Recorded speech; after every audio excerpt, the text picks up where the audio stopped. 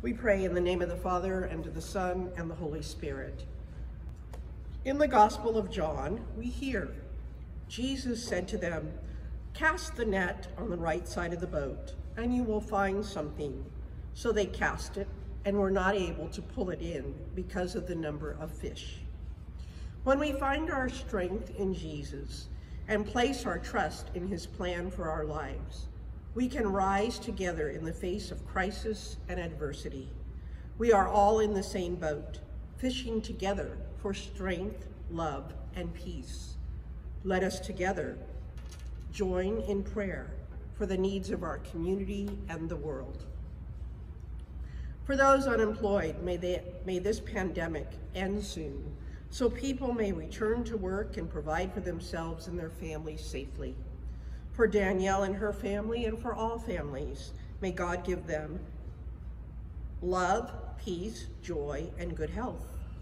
For an end to violence in our streets, for all those facing financial instability, not being able to pay their mortgage or rent, for those fearful of eviction, for the safety of Surigao del Norte in the Philippines, for the doctors, nurses, and medical staff struggling to heal those with COVID, and for those doctors and nurses who have given their lives during this time.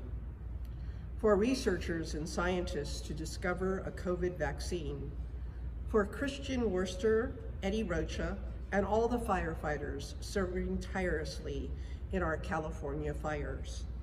For all first responders of COVID, fires, and hurricanes, may they have perseverance in caring for the task at hand and be pr protected from all harm. For police officers who serve in cities across the United States and uphold the laws of our land, may they remain in safe and remain safe and serve with respect and dignity for every human being.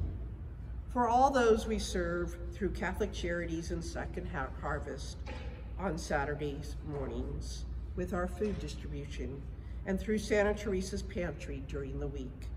For the difficult discussions that need to happen on the issue of race in our society and for the work that needs to be done throughout our nation. For the poor and the homeless, for mothers who just gave birth who have no home and extraordinarily little support. For Gabriella and all victims of human trafficking as they rebuild their lives, may they recover and heal from this trauma. For the immigrants who have no support of family and friends or government. For our friends, the farm workers, who continue to work in unhealthy air quality conditions for school administrators and teachers as they find new ways to teach their students, for parents at home who are teaching their children at home, for those who face discrimination and unjust treatment, for those in prisons that they remain safe, for all those who serve in the military who protect our country, may they remain safe and have strength and good health and return home to their families. Prayers for those couples who are trying to conceive a child. Prayers for couples waiting to get married. Prayers for couples who are waiting the birth of a child. For all those who are struggling with loneliness, isolation, anxiety, depression, mental illness, that they reach out to someone to be comforted. For each of us, that we may do what is necessary to stop the spread of COVID for those who are suffering with a broken heart, for peace and the miracle of healing between division in a family. For Eleanor Ward, who celebrates her 18th birthday today, for all those who celebrate birthdays and anniversaries this month. For the sick, we pray for strength, courage, patience, and healing of the sick. We pray for caregivers and care home facilities, and we pray for B. Clark for complete healing, for Mary Berry for healing and strength as she continues to recover from surgery, for Lupe Prada, who is undergoing radiation, for Jesse and Sue Gonzalez, Jesse is beginning treatment for pancreatic cancer, and Sue is recovering from breast cancer surgery and currently going through treatment. We ask for extra blessings on this married couple during this time of trial. For those undergoing treatment for cancer, Joyce Coburn, Dee Constani, Brian Joyce, Kathleen Laura, David Donnelly, Norma Burton, Doreen Williams.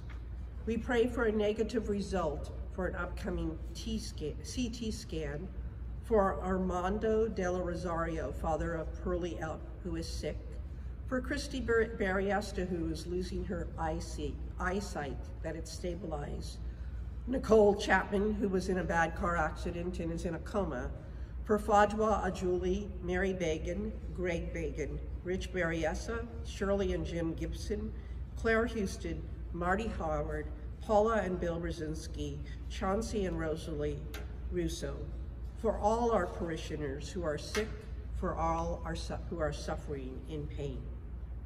For the dead, Pablito Abeliga Jr., Andreas Gabriela, brother of Caesar Gabriela Jr., Jesus Lopez, father of Claudia, Monica Ficino, Patricia Dover, sister of John Fisher, Linda Dunn, mother of Whitney Dunn, Bernice Gomez, husband of Shirley Gomez, Jesus Lopez, father of Claudia, Colleen Martin, daughter of Victoria Flynn, Matilda, Matilda, Romano, grandmother of Gabriella Burnett.